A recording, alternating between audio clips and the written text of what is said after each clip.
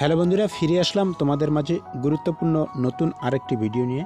তো দেখো বন্ধুরা, আজকের এই ভিডিওতে আমরা যে বিষয়টা নিয়ে আলোচনা করব, তোমরা যারা ওয়েস্ট বেঙ্গলের জয়েন্ট এন্ট্রান্স এক্সামিনেশন দিয়েছ এএনএম এবং জিএনএম নার্সিং করার জন্য, তো তোমাদেরকে অসংখ্য শুভেচ্ছা জানাই তোমরা যারা পরীক্ষা দিয়েছ এবং তোমরা যারা ভালো রেজাল্ট করবে কী রকম কাট অফ নাম্বার যাবে, তার উপর কিন্তু আমি অলরেডি একটি ভিডিও আপলোড করে দিয়েছি। তোমরা সেই ভিডিওটা যদি দেখতে চাও অবশ্যই এই ভিডিওর আই বাটনে ক্লিক করবে অথবা ডেসক্রিপশনে যাবে, সেখানে আমি লিংক দিয়ে রাখব।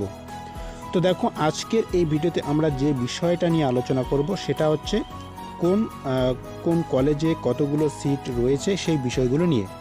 এছাড়াও গভর্নমেন্ট কলেজ কতগুলো আছে বা প্রাইভেট কলেজ কি কি রয়েছে, সেই কলেজের নাম তোমরা কীভাবে চেক করবে এবং সেই কলেজের মধ্যে কোন ক্যাটাগরিতে কতগুলো শূন্যপদ রয়েছে, সেই বিষয়গুলো আজকে এই ভিডিওতে আলোচনা করব। তো দেখো অফিসিয়াল ওয়েবসাইটের লিংক আমি ডেসক্রিপশনে দিয়ে রাখব। সেখানে ক্লিক করে তোমরা এই সাইটে চলে আসতে পারবে। এই সাইটে যখন তোমরা আসবে, তখন তোমরা উপরের দিকে দেখতে পারবে সেট ম্যাক্সিট এএনএম জিএনএম নতুন করে তারা একটি সাইট ওপেন করেছে। তো এখানে ক্লিক করলে তোমাদের সামনে পিডিএফ ডাউনলোড করার একটি অপশন চলে আসবে। আমি অলরেডি ডাউনলোড করে নিয়েছি। সে জায়গায় আমি তোমাদেরকে আর নিয়ে যাচ্ছি না, তোমরা সেই পিডিএফটা ডাউনলোড করে নেবে। পিডিএফ ডাউনলোড করার পর তোমরা সেখানে প্রত্যেকটা বিষয় দেখতে পারবে। তো চলুন আমরা পিডিএফে চলে যাচ্ছি। তো দেখো বন্ধুরা, তোমরা যখন পিডিএফটা ওপেন করবে, তোমরা দেখতে পারবে এই পিডিএফটি তৈরি করা হয়েছে তিন ছয় দু তারিখে এবং এটি তৈরি করা হয়েছে দু হাজার সালে যারা এএনএম এবং জিএনএম নার্সিংয়ের জন্য অ্যাপ্লিকেশন করবে, যাদের কাউন্সিলিংয়ে ডাকানো হবে।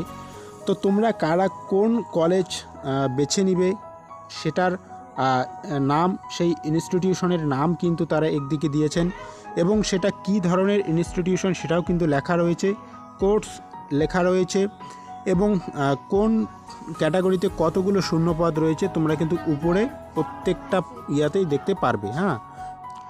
তো দেখো, এইভাবে কিন্তু তোমরা তোমাদের নিজেদের পছন্দ মতো ইনস্টিটিউশনগুলো বেছে নিতে পারবে। তোমরা কারা কোন ইনস্টিটিউশন পছন্দ করবে, সেগুলো আমাকে অবশ্যই কমেন্ট বক্সে কমেন্ট করে জানাবে।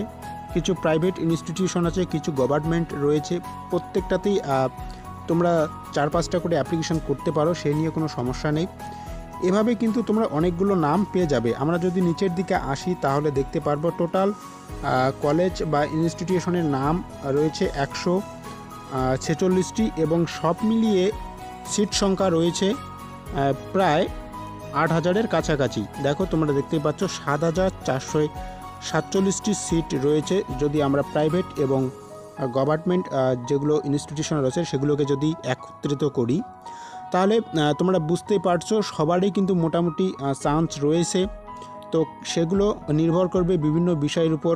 প্রাইভেট কলেজে তোমরা জানো, সেখানে টাকা লাগবে এবং যারা গভর্নমেন্ট কলেজে পড়তে চাও, সেক্ষেত্রে কিন্তু একটু টাকা কম লাগবে।